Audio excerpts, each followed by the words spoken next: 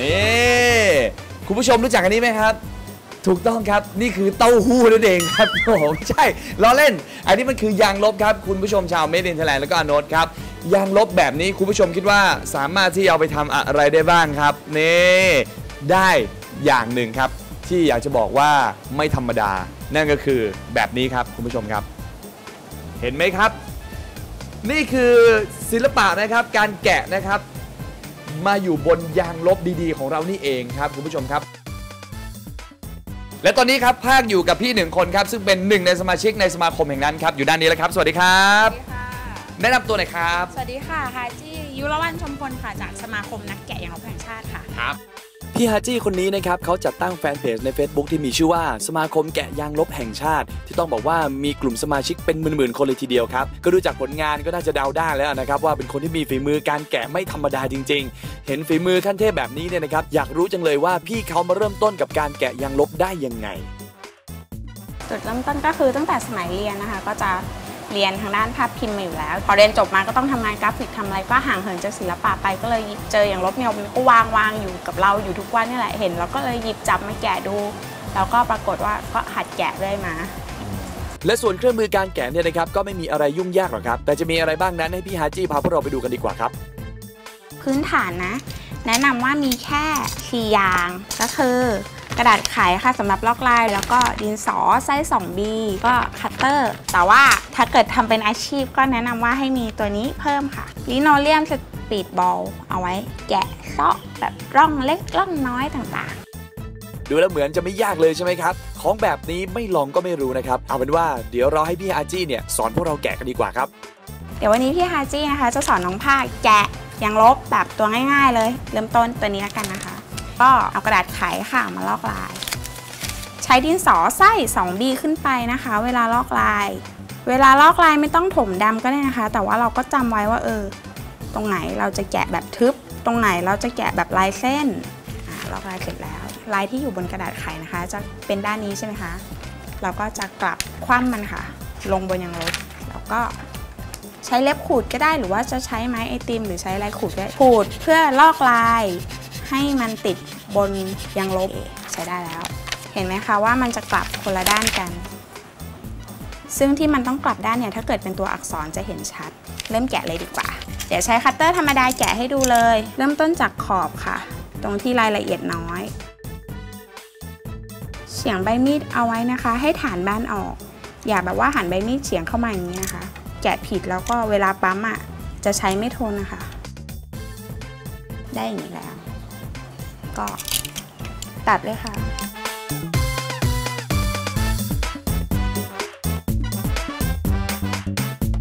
ต่อไปน้องภาก็ต้องแกะรายละเอียดของช่วงหน้าแล้วก็ช่วงผมค่ะ ตรงไหนที่เราต้องการเอาไว้ ต้องการให้ปั๊มติดนะคะ เราก็จะไม่แกะทิ้ง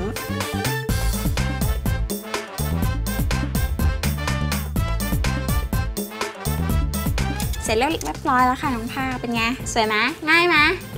แป๊บเดียว อะเดี๋ยวอันนี้ใช่ไหมที่น้องภาคเขียนไว้ลายมือน้องภาคชื่อน้องภาคเดี๋ยวพี่จะแกะสอนน้องภาคแกะให้ดู เริ่มต้นเหมือนกับการแกะตัวการ์ตูนก็คือเริ่มต้นจากขอบครับทีนี้พอได้อย่างนี้แล้วก็เดี๋ยวตรงนี้เราจะไม่ตัดทิ้งเยอะ เหลือฐานไว้ให้มันยืน จะไม่ตัดแบบพอดี ใจเย็นนิดนึงแต่ว่าอันนี้ตัวใหญ่แกะง่าย ถ้าตัวเล็กที่พี่แกะได้ก็คือ 3 มิลเล็กกว่านั้นแกะไม่สวยละ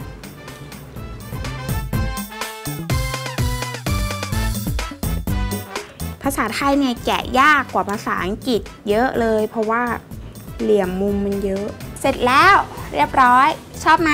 เดี๋ยวน้องภาพลองปั๊มนะ คุณผู้ชมดูฮะ นี่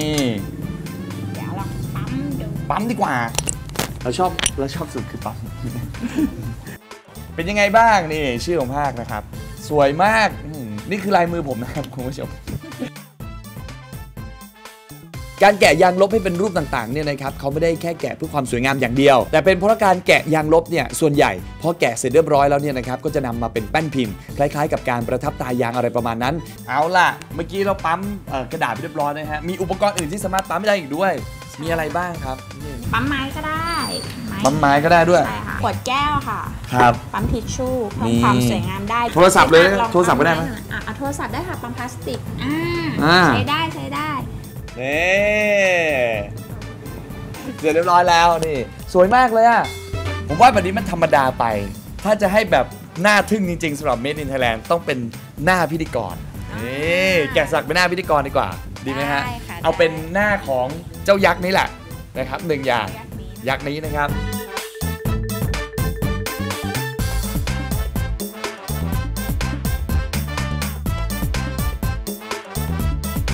สองคือหน้าภาค เอาล่ะ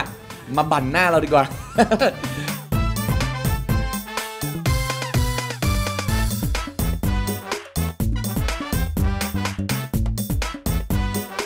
นี่ โอ้โห คลือมาก คลือมาก สามอาโนเชิญยิ้มครับ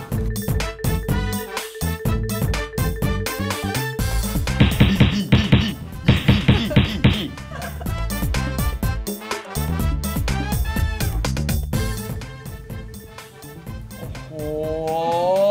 ไม่ธรรมดานี่ อ้าว ดูแบบเต็มๆนี่ เป็นยังไง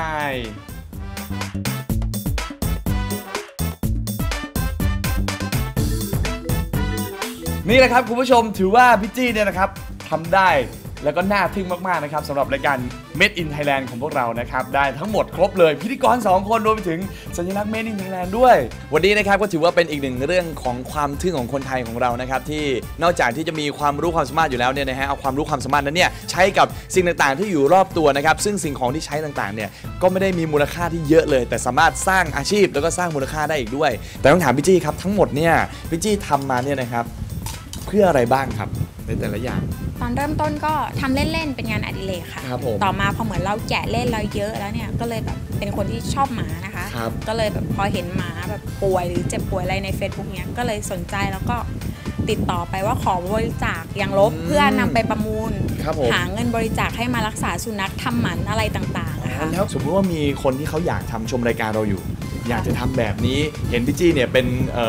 เอ่อเป้าหมายแล้วว่าเฮ้ยได้อยากจะมาลองเรียนแบบนี้ทำไงได้บ้างครับ ทำไงนะคะ เข้าไปที่ Facebook ค่ะ แล้วก็เซิร์ชเลยค่ะ สมาคมนักแกะยางลบแห่งชาติ ครับผม แค่นี้ก็จะเจอแล้วก็มาสอบถามได้เลยค่ะ จี้อัพวิดีโอไว้เป็น 10 ไฟล์สอน ทุกอย่างวิธีการทุกขั้นตอนค่ะ ตั้งแต่ลอกลายแกะยันติดแป้นไม้เลยคค่ะรับผม แล้วถ้าเกิดว่าอยากจะมาซื้อของที่พี่พี่พี่จี้ทำอย่างนี้ซื้อได้ก็ที่ไหนได้ค่ะมาดินสตูดิโอค่ะ ครับผม มีเบอร์โทรค่ะ 086 000 2098 ครับผม นี่นะฮะ ยังไงก็ลองมาดูแล้วกันครับ ผมว่านี่คืออีกหนึ่งอาชีพนะครับที่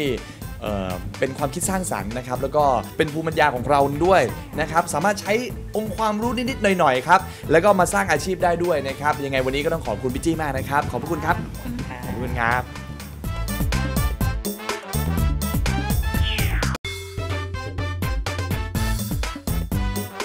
ตบมาแล้วกี่คนครับพี่กี่เผาโอ้โหนับได้ไหม ขึ้นหลักร้อยหลักสิบหลักพันหรือหลักหมื่นนี่ตอบไม่ได้จริงเยอะแล้วนะอันนี้ตอบไม่ได้จริงมาๆเยไม่อะได้มาไม่ได้กนับเลยค่ะใช่ไหมครับไม่ได้นับเลย คือตบได้ทุกแบบทุกสไตล์ทุกหน้าเลยถูกต้องใครก็ตามอย่างแบบอย่างเด็กบางคนเนี่ยครัเอ่อบเพิ่งอายุ 18 ก็มาตบนะครับผมตบไปจนถึงเอ่อรุ่นคุณปู่คุณย่าก็มีมาตบนะคะโอ้นี่คือตบทุกอย่างเลยทุกรุ่นเลยถูกต้อง